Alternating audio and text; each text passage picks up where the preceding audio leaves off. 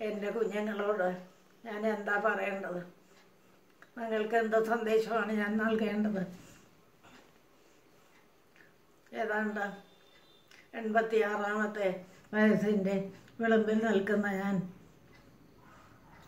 പുറകിലേക്ക് നോക്കുമ്പോൾ ഒരു ഒരുപാട് സ്വപ്നങ്ങൾ ഒരുപാട് മനോഹരമായ ആദർശങ്ങൾ വിശ്വാസങ്ങൾ ഇവയെല്ലാം ഉള്ള ഒരു കാലം കാണുന്നു. ഇപ്പോൾ അതൊക്കെ ഉണ്ടോ എന്ന് ചോദിച്ചാൽ ഒരുപാട് വികസനം വന്നിരിക്കുന്നു. പ്രാണവായുവിന് പോലും വില കൊടുക്കേണ്ട ഒരു കാലം വന്നിരിക്കുന്നു. പ്രകൃതി നശിച്ചുകൊണ്ടേയിരിക്കുന്നു. പണം വർദ്ധിച്ചുകൊണ്ടേയിരിക്കുന്നു. എത്രയോ നല്ല കെട്ടിടങ്ങൾ കെട്ടിപ്പോക്കുക. വലിയ വലിയ ഇൻഡസ്ട്രീസ് വലിയ ബാർ ബാർ ഹോട്ടലുകൾ ഒരുപാട് സുഖം ഒരുപാട് അഹങ്കാരം ഒരുപാട് ധൂർത്ത് ഇതിന്റെയൊക്കെ നടുക്ക്.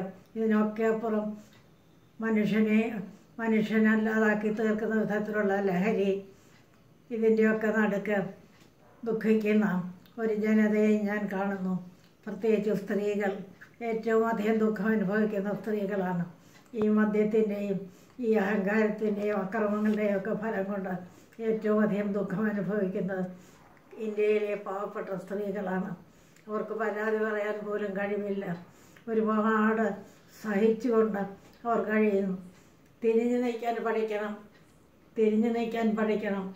ആരും ചവിട്ടി തേക്കാൻ അനുവദിക്കരുത്. അന്തസ്സോടെ ധൈര്യത്തോടെ തിരിഞ്ഞു നിൽക്കാനും സ്വന്തം കാലിൽ നിന്ന് വേലയിൽ ജീവിക്കാനും പഠിക്കണം.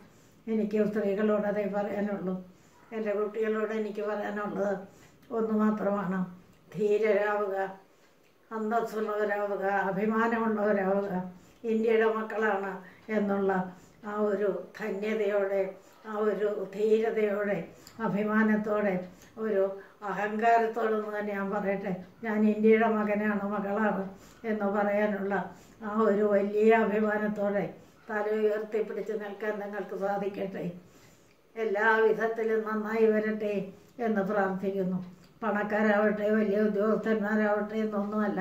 നല്ല മനുഷ്യരായി തീരട്ടെ നല്ല മനസ്സുണ്ടാവട്ടെ. മനസ്സിൽ കാരുണ്യം നിറയട്ടെ. സ്നേഹം നിറയട്ടെ. ഈശ്വരൻ നിങ്ങളെ എല്ലാവരെയും അനുഗ്രഹിക്കട്ടെ.